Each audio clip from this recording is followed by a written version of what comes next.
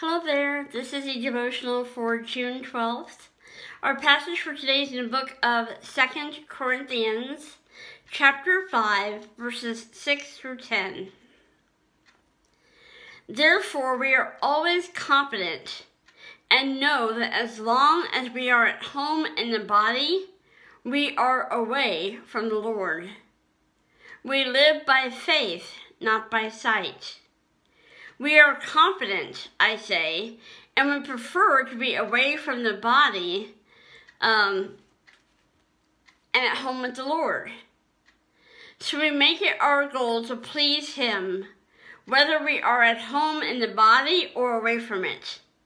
For we must all appear before the judgment seat of Christ, that each one may receive what is due him for the things done while in the body whether good or bad. The title for today's devotional is Jesus Christ, our Judge. The Word of God reveals that Jesus Christ will one day judge every person who has ever lived.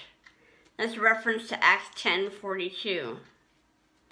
At that time, unbelievers will be exiled from God's presence and believers will stand before Jesus with full comprehension of his extravagant grace.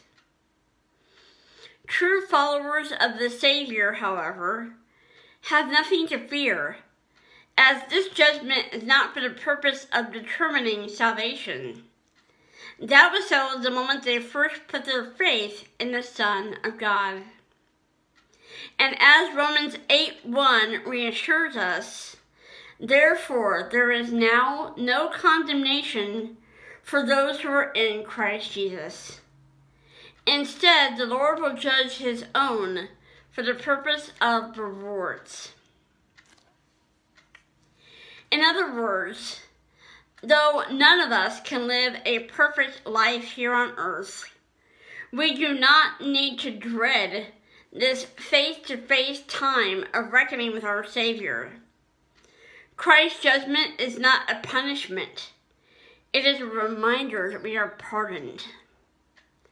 On that day, we will stand before the Lord, clothed in Christ's righteousness and forgiven of every single sin. And we will at last fully comprehend the depth and breadth of His grace and love for us. Thank you for watching.